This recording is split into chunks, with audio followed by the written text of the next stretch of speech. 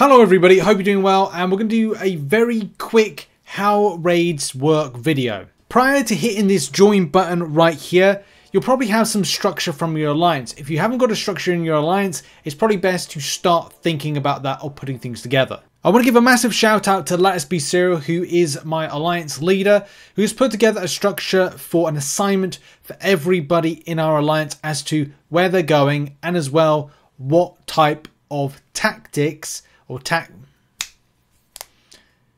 I want to give a shout out to Let Us Be Serial, who's my alliance leader, who, with him and many other top office people, officer people within our alliance, put together a structure that aligns a role with the section that you're going in the particular map, and as well how you plan to take everything on. Communication's key. When doing the first raid, look, mistakes are going to happen. You don't have to be perfect the first time, so just go in and try and put your best champions at those particular bosses. When choosing your respective champion to go in, you do this, or I advise this. If you're Assault, I would click on Vanguard and click on Tactician. Did you just see that?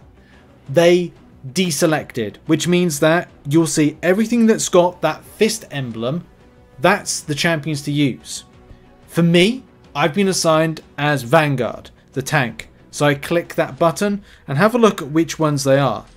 My Colossus is the strongest. It may not be the most effective, but this is the first time ever doing it. So I need to test that out. My second option would be Abomination. I do have Titania, Spider-Man, as well as Red Hulk, but I wouldn't say that as strong. My Colossus is my strongest one so far, but it's not necessarily the best champion. Choose the best champion you think would be a good option, and of course, do bear in mind, it's your first time going in. So make mistakes, find out improvements, and rank up champions based on what happens. If you are concerned at any time about maybe using a certain champion, here's a good example. I thought, even though I kind of know I'm going to use Colossus, I thought I'd just shoot a message to my alliance leader and just say, well, I'm not quite sure.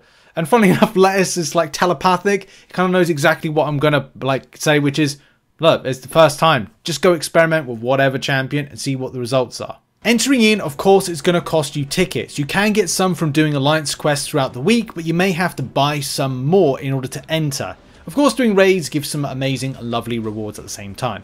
Now when you enter you'll be greeted with this particular warning telling you about all the different types of raid bosses and as well what kind of things they do or what you'll have to do in order to make a difference. Like the first champion that I'll be facing off against in this particular video is Thanos, which will call out a random game action of intercept the opponent, block a hit, or dodge a hit after the call out action is completed, gain raid further at 50 raid further, complete the mission, and gain a role charge, which of course is going to be beneficial to the greater good of uh, continuing on further and also helping out my fellow alliance mates that are in this particular pod of, uh, of map.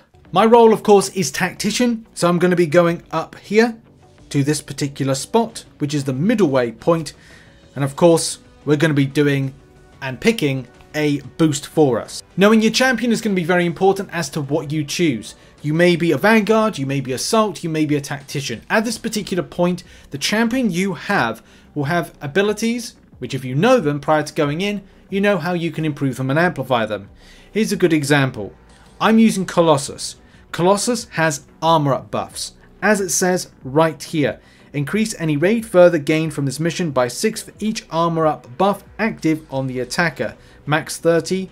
Combo ending attacks grant a 45 second 10% armor up buff. Max 5.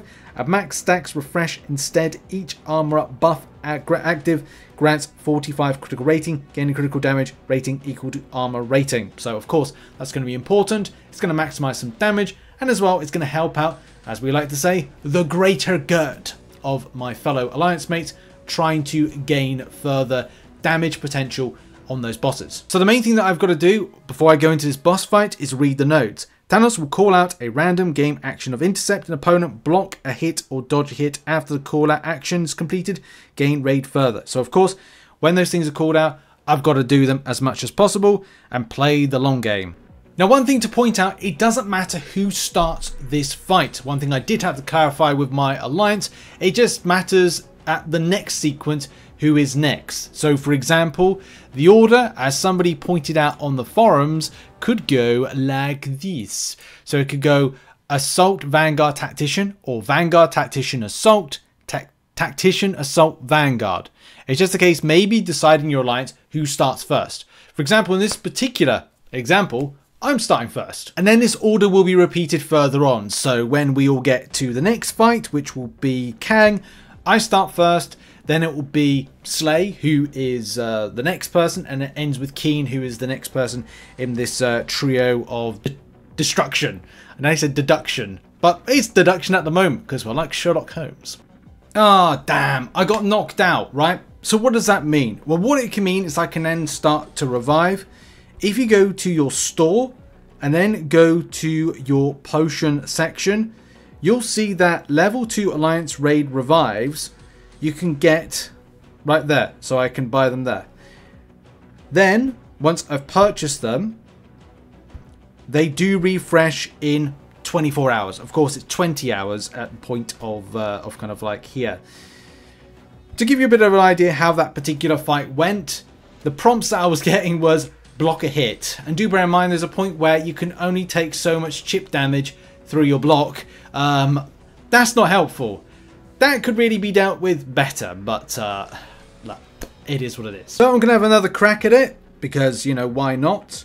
Do an intercept, hit a block, come on, there we go.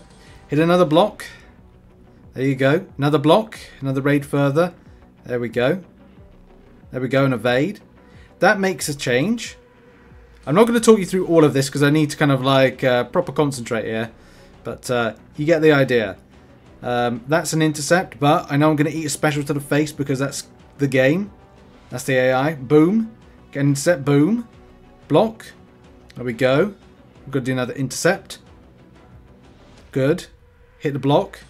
Hit the block. There we go. Got to do it again, but...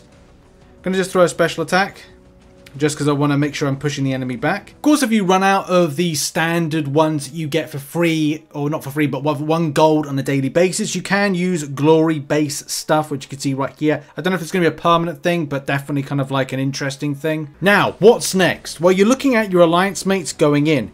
Here are my alliance mates fighting at the moment.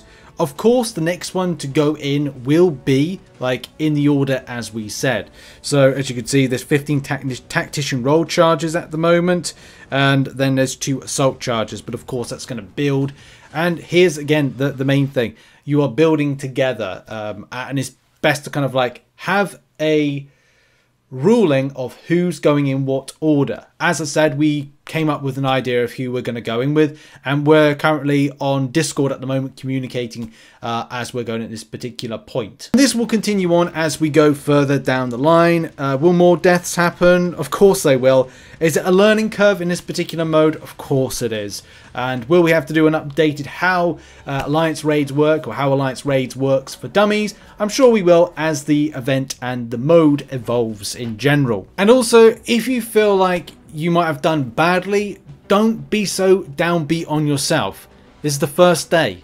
Mistakes are going to happen. Make mistakes. I always think that's one of the best things about life, making mistakes. Because you get to learn from stuff. You get to find out what is good, what is bad.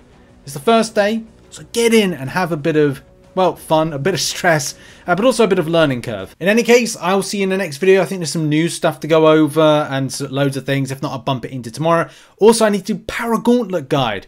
Uh, but uh, look, have fun. Check out some other content located on screen and have a lovely day, whatever you're doing.